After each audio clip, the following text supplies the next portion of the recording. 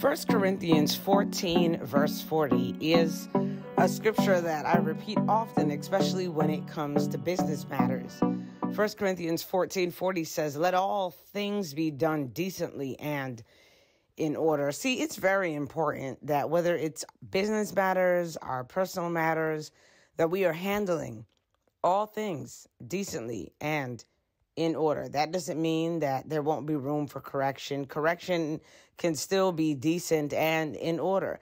As we deal with each other as believers inside the church, outside of the church, in our jobs, our academic lives, our marriages, our interpersonal relationships, all things must be done decently and in order. They must be done under a certain framework, a framework that says we understand how God wants us to process things. We understand how God wants us to correct things. That we understand that God doesn't want us to end up in inappropriate scraps and battles and arguments and these these weird things. No, God's not looking for that kind of stuff. But even when there are misunderstandings, it can still be handled in decency and in order. So this day, I pray that you seek out what that looks like in your various situations and that you make a choice to represent God well by understanding what it is to operate in decency and in order.